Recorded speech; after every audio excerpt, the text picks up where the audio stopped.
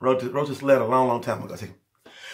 Dear Mr. Hater, know you hear me calling. I wonder if you're jealous cause you think the player balling. Or maybe it's the fact that you never had a plan. So now you gotta go and throw shade on the next man. Thought you would have known that the world is kind of small. If you tell your business to Peter, he gonna run and tell your business to Paul. And Paul told Pam, and Pam told Snoop. And Snoopy, he the homie, so that's how I got the scoop on how you really feel. Now you all up in my grill talking about you got them skills? Oh, really? Just like a hater to play me silly. I call them halftime homies. Smile in your face, talk behind your back. We ain't gonna pay them no never mind because like I said, they pay no mind, no mind. None of my bills, none of your bills. And so if you out there hating, stop it because you're just wasting energy and time. No haters today. That's my letter. this your partner. Have a phenomenal day.